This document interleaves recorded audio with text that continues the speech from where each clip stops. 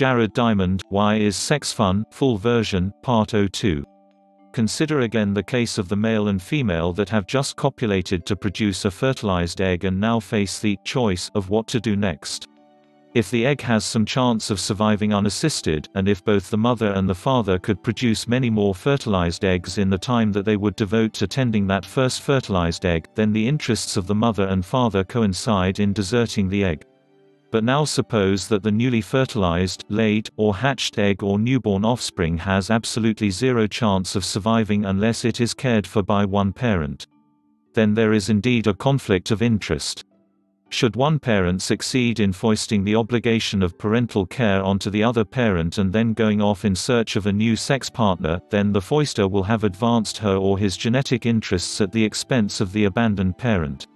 The foister will really promote his or her selfish evolutionary goals by deserting his or her mate and offspring. In such cases when care by one parent is essential for offspring survival, child rearing can be thought of as a cold-blooded race between mother and father to be the first to desert the other and their mutual offspring and to get on with the business of producing more babies. Whether it actually pays you to desert depends on whether you can count on your old mate to finish rearing the kids, and whether you are then likely to find a receptive new mate. It's as if, at the moment of fertilization, the mother and father play a game of chicken, stare at each other, and simultaneously say, I am going to walk off and find a new partner, and you can care for this embryo if you want to, but even if you don't, I won't. If both partners call each other's bluff in that race to desert their embryo, then the embryo dies and both parents lose the game of chicken. Which parent is more likely to back down? The answer depends on such considerations as which parent has more invested in the fertilized egg, and which parent has hotter alternative prospects. As I said before, neither parent makes a conscious calculation, the actions of each parent are instead programmed genetically by natural selection into the anatomy and instincts of their sex. In many animal species the female backs down and becomes sole parent while the male deserts, but in other species, the male assumes responsibility and the female deserts, and in still other species both parents assume shared responsibility. Those varying outcomes depend on three interrelated sets of factors whose differences between the sexes vary among species, investment in the already fertilized embryo or egg, alternative opportunities that would be foreclosed by further care of the already fertilized embryo or egg, and confidence in the paternity or maternity of the embryo or egg. All of us know from experience that we are much more reluctant to walk away from an ongoing enterprise in which we have invested a lot than from one in which we have invested only a little. That's true of our investments in human relationships, in business projects, or in the stock market. It's true regardless of whether our investment is in the form of money, time, or effort. We lightly end a relationship that turns bad on the first date, and we stop trying to construct from parts a cheap toy when we hit a snag within a few minutes. But we agonize over ending a 25-year marriage or an expensive house remodeling. The same principle applies to parental investment in potential offspring. Even at the moment when an egg is fertilized by a sperm, the resulting fertilized embryo generally represents a greater investment for the female than for the male, because in most animal species the egg is much larger than the sperm. While both eggs and sperm contain chromosomes, the egg, in addition, must contain enough nutrients and metabolic machinery to support the embryo's further development for some time, at least until the embryo can start feeding itself. Sperm, in contrast, need contain only a flagellar motor and sufficient energy to drive that motor and support swimming for at most a few days.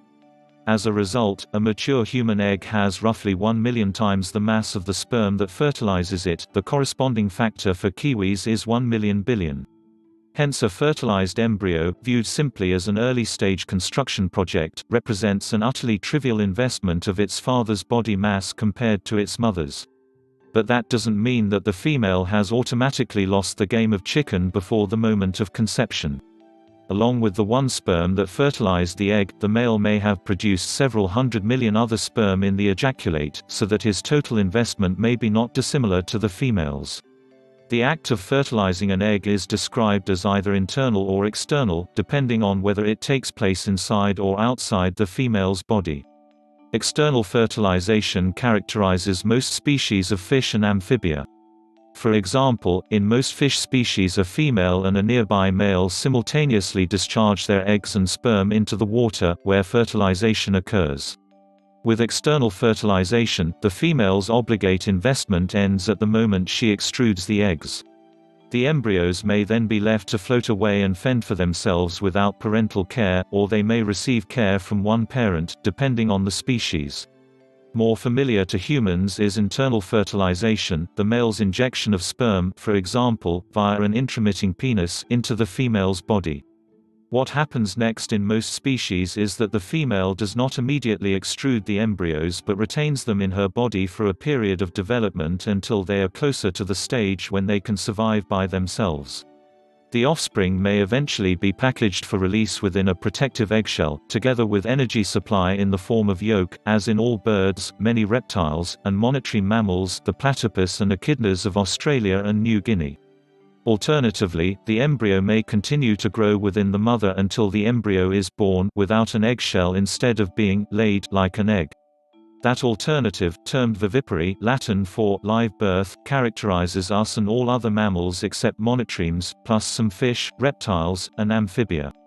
Vivipary requires specialized internal structures, of which the mammalian placenta is the most complex, for the transfer of nutrients from the mother to her developing embryo and the transfer of wastes from embryo to mother. Internal fertilization thus obligates the mother to further investment in the embryo beyond the investment that she has already made in producing the egg until it is fertilized. Either she uses calcium and nutrients from her own body to make an eggshell and yolk, or else she uses her nutrients to make the embryo's body itself. Besides that investment of nutrients, the mother is also obligated to invest the time required for pregnancy. The result is that the investment of an internally fertilized mother at the time of hatching or birth, relative to the father's, is likely to be much greater than that of an externally fertilized mother at the time of unfertilized egg extrusion. For instance, by the end of a nine-month pregnancy, a human mother's expenditure of time and energy is colossal in comparison with her husband's or boyfriend's pathetically slight investment during the few minutes it took him to copulate and extrude his 1 milliliter of sperm. As a result of that unequal investment of mothers and fathers in internally fertilized embryos, it becomes harder for the mother to bluff her way out of post-hatching or post-birth parental care, if any is required. That care takes many forms, for instance, lactation by female mammals guarding the eggs by female alligators, and brooding the eggs by female pythons. Nevertheless, as we shall see, there are other circumstances that may induce the father to stop bluffing and to start assuming shared or even sole responsibility for his offspring. I mentioned that three related sets of factors influence the choice of parents to be caretakers and that relative size of investment in the young is only one of those factors. A second factor is the foreclosed opportunity. Picture yourself as an animal parent contemplating your newborn offspring and coldly calculating your genetic self-interest as you debate what you should now do with your time. That offspring bears your genes, and its chance of surviving to perpetuate your genes would undoubtedly be improved if you hung around to protect and feed it. If there is nothing else you could do with your time to perpetuate your genes, your interests would be best served by caring for that offspring and not trying to bluff your mate into being a sole parent. On the other hand, if you can think of ways to spread your genes to many more offspring at the same time, you should certainly do so and desert your current mate and offspring. Now consider a mother and father animal both doing that calculation the moment after they have mated to produce some fertilized embryos. If fertilization is external, neither mother nor father is automatically committed to anything further, and both are theoretically free to seek another partner with whom to produce more fertilized embryos. Yes, the just fertilized embryos may need some care, but mother and father are equally able to try to bluff the other into providing that care. But if fertilization is internal, the female is now pregnant and committed to nourishing the fertilized embryos until birth or laying. If she is a mammal, she is committed for even longer, through the period of lactation. During that period it does her no genetic good to copulate with another male because she cannot thereby produce more babies. That is, she loses nothing by devoting herself to child care.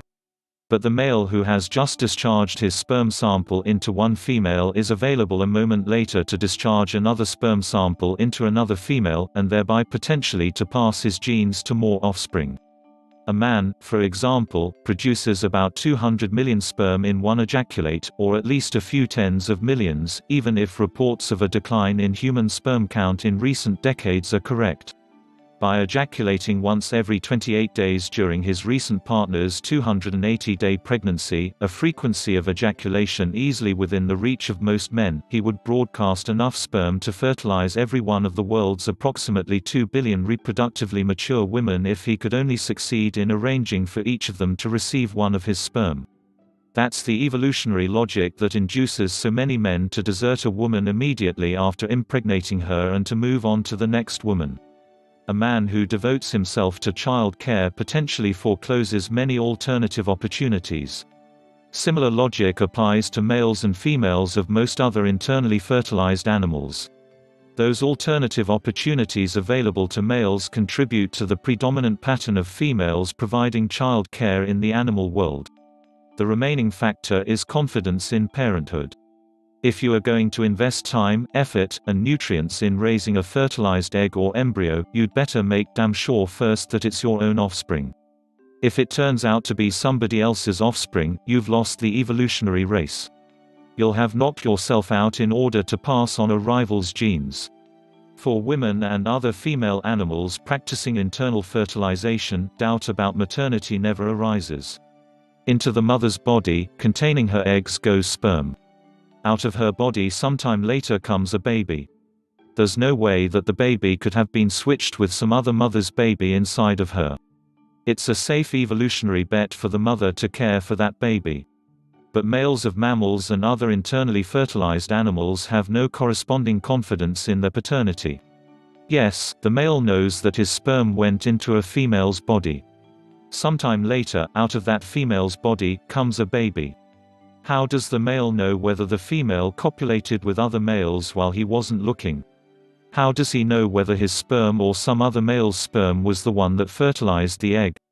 In the face of this inevitable uncertainty, the evolutionary conclusion reached by most male mammals is to walk off the job immediately after copulation, seek more females to impregnate, and leave those females to rear their offspring, hoping that one or more of the females with which he copulated will actually have been impregnated by him and will succeed in rearing his offspring unassisted. Male parental care would be a bad evolutionary gamble. Yet we know, from our own experience, that some species constitute exceptions to that general pattern of male post-copulatory desertion. The exceptions are of three types. One type is those species whose eggs are fertilized externally. The female ejects her not yet fertilized eggs, the male, hovering nearby or already grasping the female, spreads his sperm on the eggs, he immediately scoops up the eggs, before any other males have a chance to cloud the picture with the sperm, and he proceeds to care for the eggs, completely confident in his paternity. This is the evolutionary logic that programs some male fish and frogs to play the role of a sole parent after fertilization. For example, the male midwife toad guards the eggs by wrapping them around his hind legs, the male glass frog stands watch over eggs in vegetation over a stream into which the hatched tadpoles can drop, and the male stickleback builds a nest in which to protect the eggs against predators. The second type of exception to the predominant pattern of male post-copulatory desertion involves a remarkable phenomenon with a long name, sex role reversal polyandry. As the name implies, this behavior is the opposite of the common polygamous breeding systems in which big males compete fiercely with each other to acquire a harem of females. Instead, big females compete fiercely to acquire a harem of smaller males, for each of which in turn the female lays a clutch of eggs and each of which proceeds to do most or all of the work of incubating the eggs and rearing the young. The best known of these female sultans are the shorebirds called jacanas alias lily trotters, spotted sandpipers, and Wilson's phalaropes. For instance, flocks of up to 10 female phalaropes may pursue a male for miles. The victorious female then stands guard over her prize to ensure that only she gets to have sex with him and that he becomes one of the males rearing her chicks. Clearly, sex role reversal polyandry represents for the successful female the fulfillment of an evolutionary dream. She wins the battle of the sexes by passing on her genes to far more clutches of young than she could rear, alone or with one male's help. She can utilize nearly her full egg-laying potential, limited only by her ability to defeat other females in the quest for males willing to take over parental care. But how did this strategy evolve? Why did males of some shorebird species end up seemingly defeated in the battle of the sexes, as polyandrous co-husbands, when males of almost all other bird species avoided that fate or even reversed it to become polygamists? The explanation depends on shorebirds' unusual reproductive biology. They lay only four eggs at a time, and the young are precocial, meaning that they hatch already covered with down, with their eyes open, and able to run and find food for themselves. The parent doesn't have to feed the chicks but only has to protect them and keep them warm. That's something a single parent can handle, whereas it takes two parents to feed the young of most other bird species but a chick that can run around as soon as it hatches has undergone more development inside the egg than the usual helpless chick. That requires an exceptionally large egg. Take a look sometime at a pigeon's typically small eggs, which produce the usual helpless chicks, to understand why egg farmers prefer to rear chickens with big eggs and precocial chicks. In spotted sandpipers, each egg weighs fully one-fifth as much as its mother, the whole four-egg clutch weighs an astonishing 80% of her weight. Although even monogamous shorebird females have evolved to be slightly larger than their mates, the effort of producing those huge eggs is still exhausting. That maternal effort gives the male both a short-term and a long-term advantage if he takes over the not-too-onerous responsibility of rearing the precocial chicks alone, thereby leaving his mate free to fatten herself up again. His short-term advantage is that his mate thereby becomes capable of producing another clutch of eggs for him quickly, in case the first clutch is destroyed by a predator. That's a big advantage because shorebirds nest on the ground and suffer horrendous losses of eggs and chicks. For example, in 1975 a single mink destroyed every nest in a population of spotted sandpipers that the ornithologist Lewis Oring was studying in Minnesota. A study of jacanas in Panama found that 44 out of 52 nests failed. Sparing his mate may also bring the male a long-term advantage. If she does not become exhausted in one breeding season, she is more likely to survive to the next season, when he can mate with her again. Like human couples, experienced bird couples that have worked out a harmonious relationship are more successful at raising young than are bird newlyweds. But generosity in anticipation of later repayment carries a risk, for male shorebirds as for humans. Once the male assumes sole parental responsibility, the road is clear for his mate to use her free time in whatever way she chooses. Perhaps she'll choose to reciprocate and remain available to her mate, on the chance that her first clutch might be destroyed and he would require a replacement clutch but she might also choose to pursue her own interests, seeking out some other male available immediately to receive her second clutch. If her first clutch survives and continues to occupy her former mate, her polyandrous strategy has thereby doubled her genetic output. Naturally, other females will have the same idea, and all of them will find themselves in competition for a dwindling supply of males. As the breeding season progresses, most males become tied up with the first clutch and unable to accept further parental responsibilities.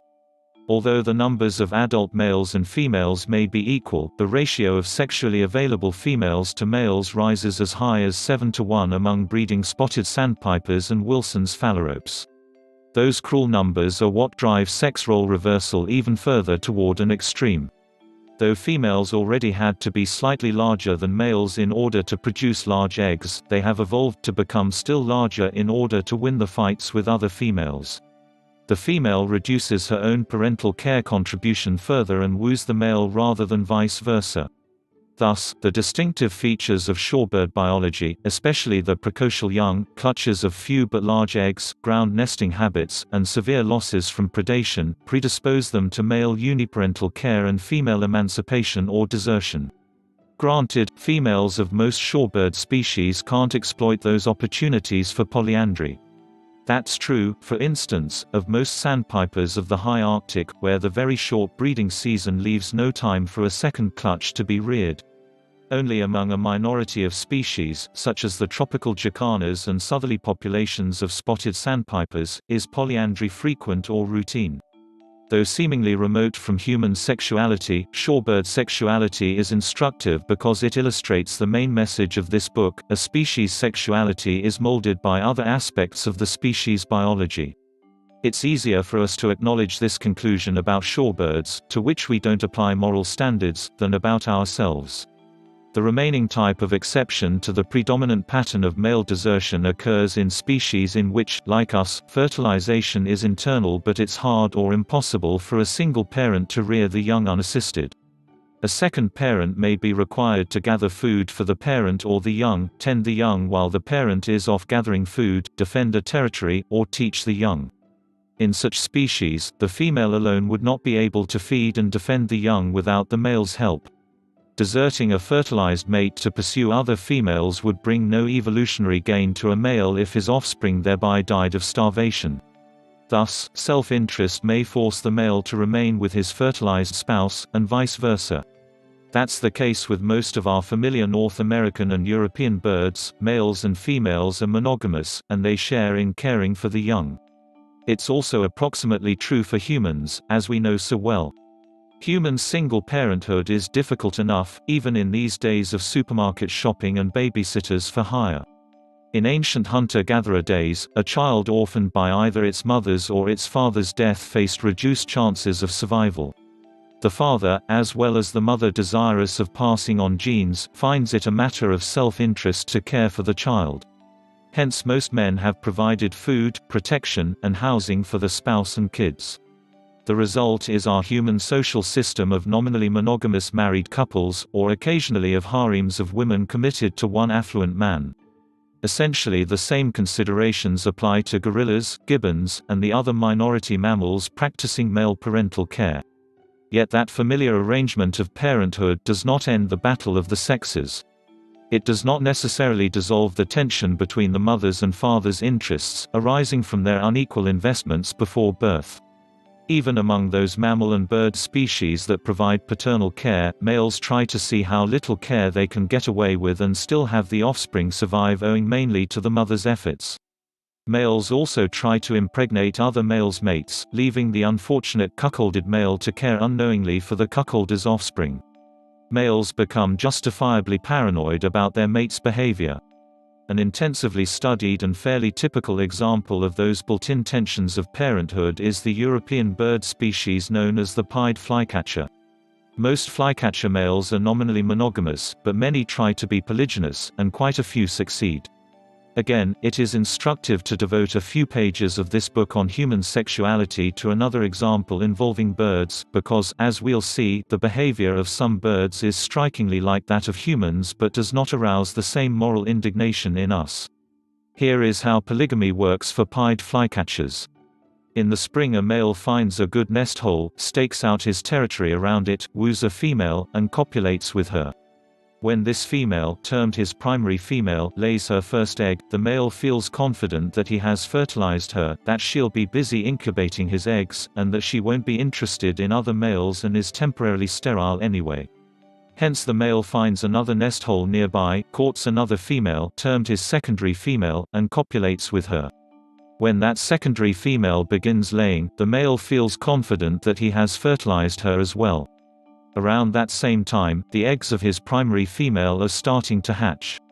The male returns to her devote most of his energy to feed her chicks and devotes less or no energy to feeding the chicks of his secondary female. Numbers tell the cruel story, the male averages 14 deliveries of food per hour to the primary female's nest but only 7 deliveries of food per hour to the secondary female's nest. If enough nest holes are available, most mated males try to acquire a secondary female, and up to 39% succeed. Obviously, this system produces both winners and losers. Since the numbers of male and female flycatchers are roughly equal, and since each female has one mate, for every bigamous male there must be one unfortunate male with no mate.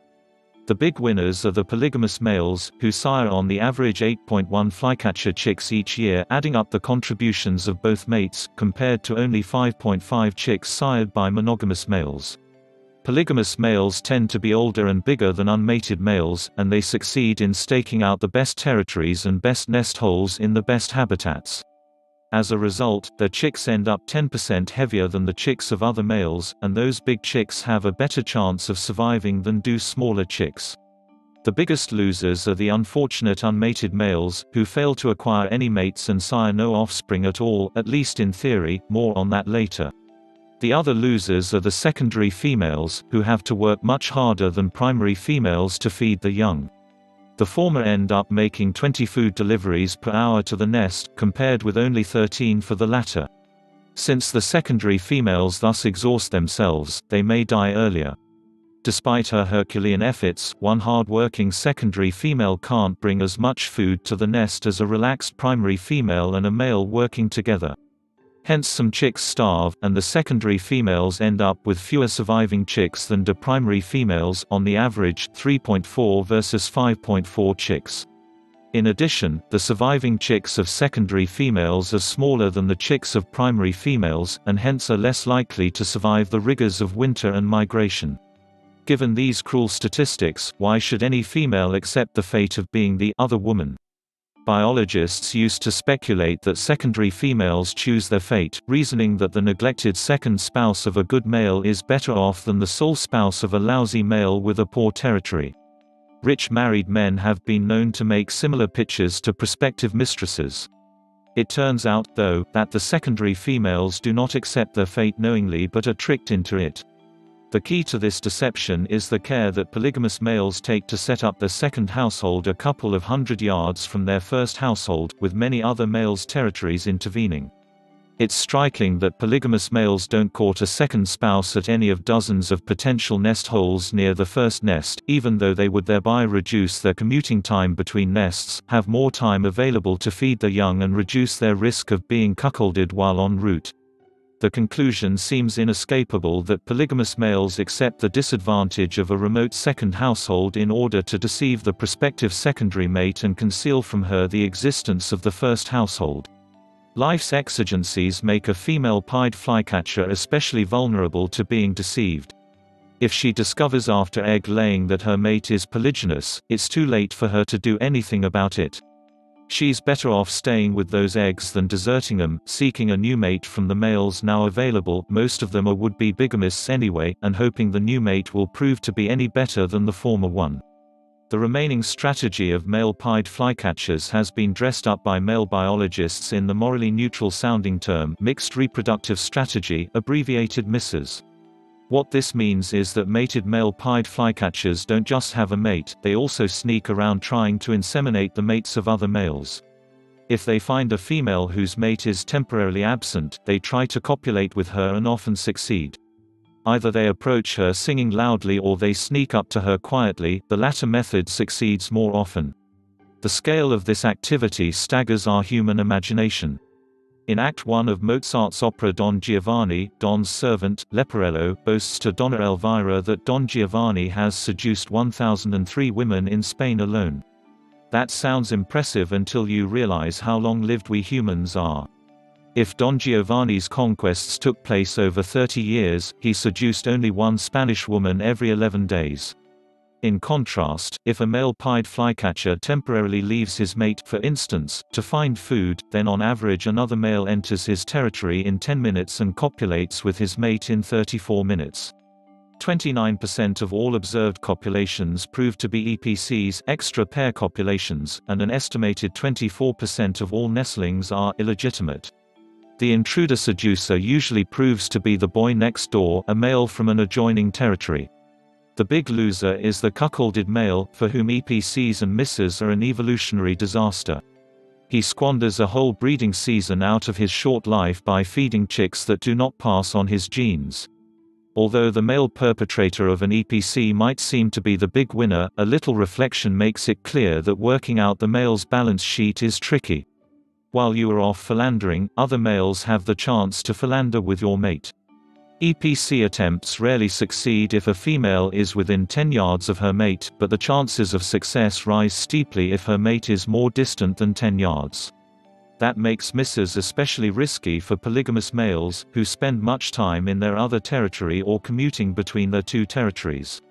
The polygamous males try to pull off EPCs themselves and on average make one attempt every 25 minutes, but once every 11 minutes some other male is sneaking into their own territory to try for an EPC. In half of all EPC attempts, the cuckolded male flycatcher is off in pursuit of another female flycatcher at the very moment when his own mate is under siege. These statistics would seem to make misses a strategy of dubious value to male pied flycatchers, but they are clever enough to minimize their risks. Until they have fertilized their own mate, they stay within two or three yards of her and guard her diligently. Only when she has been inseminated do they go off philandering.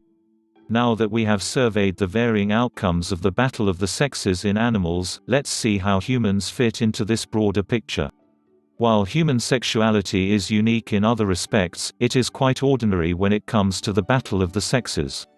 Human sexuality resembles that of many other animal species whose offspring are internally fertilized and require biparental care. It thereby differs from that of most species whose young are externally fertilized and given only uniparental care or even no care at all.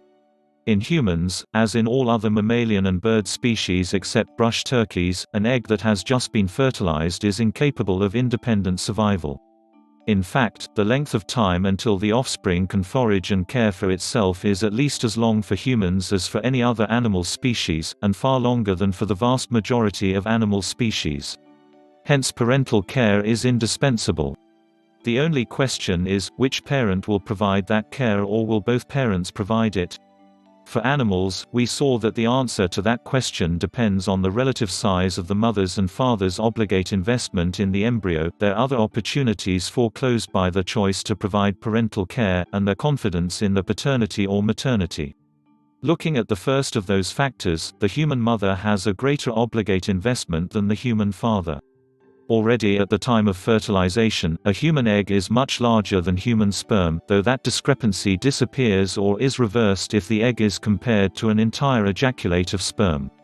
After fertilization the human mother is committed to up to nine months of time and energy expenditure, followed by a period of lactation that lasted about four years under the conditions of the hunter-gatherer lifestyle that characterized all human societies until the rise of agriculture about 10,000 years ago.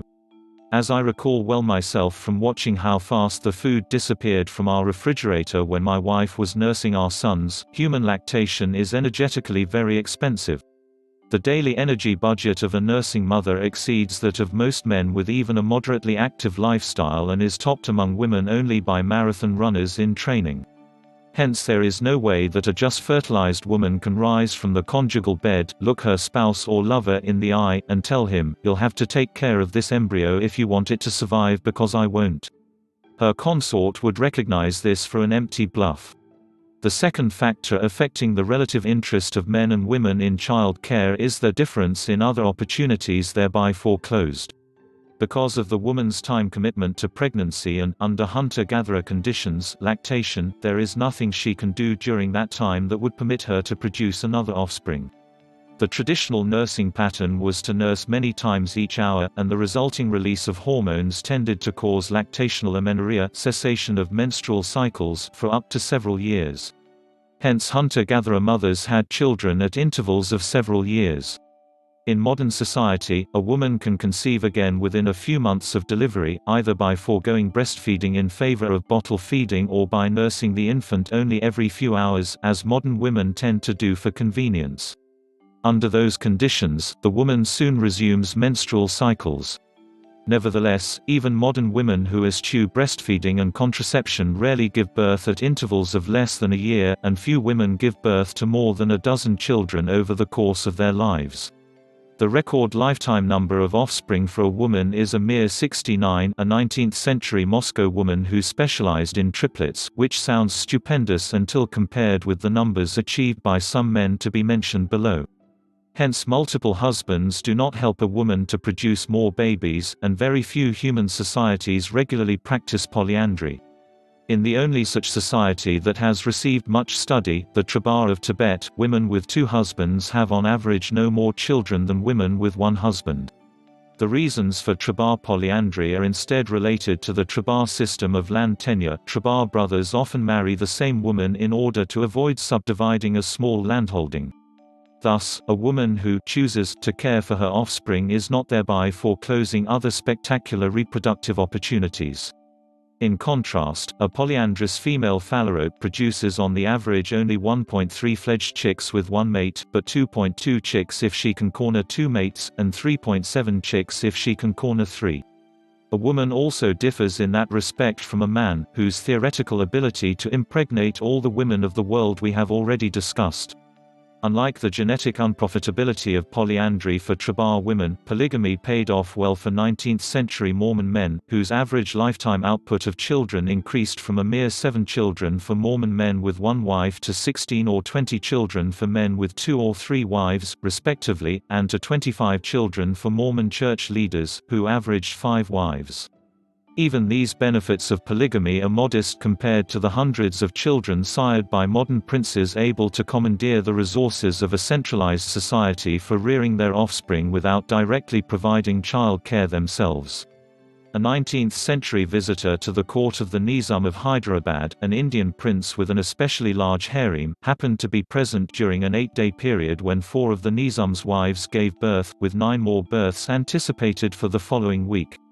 The record for lifetime number of offspring sired is credited to Morocco's Emperor Ismail the Bloodthirsty, father of 700 sons and an uncounted but presumably comparable number of daughters. These numbers make it clear that a man who fertilizes one woman and then devotes himself to child care may be that choice forecloses enormous alternative opportunities. The remaining factor tending to make child care genetically less rewarding for men than for women is the justified paranoia about paternity that men share with the males of all other internally fertilized species. A man who opts for child care runs the risk that, unbeknownst to him, his efforts are transmitting the genes of a rival. This biological fact is the underlying cause for a host of repulsive practices by which men of various societies have sought to increase their confidence in paternity by restricting their wives' opportunity for sex with other men. Among such practices are high bride prices only for brides delivered as proven virgin goods, traditional adultery laws that define adultery by the marital status only of the participating woman that of the participating man being irrelevant, chaperoning or virtual imprisonment of women, female circumcision, clitoridectomy, to reduce a woman's interest in initiating sex, whether marital or extramarital, and infibulation suturing a woman's labia majora nearly shut so as to make intercourse impossible while the husband is away. All three factors, sex differences in obligate parental investment, alternative opportunities foreclosed by child care, and confidence in parenthood, contribute to making men much more prone than women to desert a spouse and child. However, a man is not like a male hummingbird, male tiger, or the male of many other animal species, who can safely fly or walk away immediately after copulation, secure in the knowledge that his deserted female sex partner will be able to handle all the ensuing work of promoting the survival of his genes. Human infants virtually need biparental care, especially in traditional societies.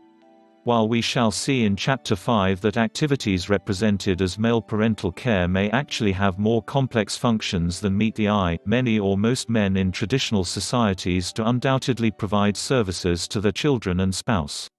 Those services include, acquiring and delivering food, offering protection, not only against predators but also against other men who are sexually interested in a mother and regard her offspring their potential stepchildren as a competing genetic nuisance, owning land and making its products available, building a house, clearing a garden, and performing other useful labor, and educating children, especially sons, so as to increase the children's chances of survival. Sex differences in the genetic value of parental care to the parent provide a biological basis for the all too familiar differing attitudes of men and women toward extramarital sex. Because a human child virtually required paternal care in traditional human societies, extramarital sex is most profitable for a man if it is with a married woman whose husband will unknowingly rear the resulting child. Casual sex between a man and a married woman tends to increase the man's output of children, but not the woman's. That decisive difference is reflected in men's and women's differing motivations. Attitude surveys in a wide variety of human societies around the world have shown that men tend to be more interested than women in sexual variety, including casual sex and brief relationships. That attitude is readily understandable because it tends to maximize the transmission of the genes of a man but not of a woman. In contrast, the motivation of a woman participating in extramarital sex is more often self-reported as marital dissatisfaction. Such a woman tends to be searching for a new lasting relationship, either a new marriage or a lengthy extramarital relationship with a man better able than her husband to provide resources or good genes.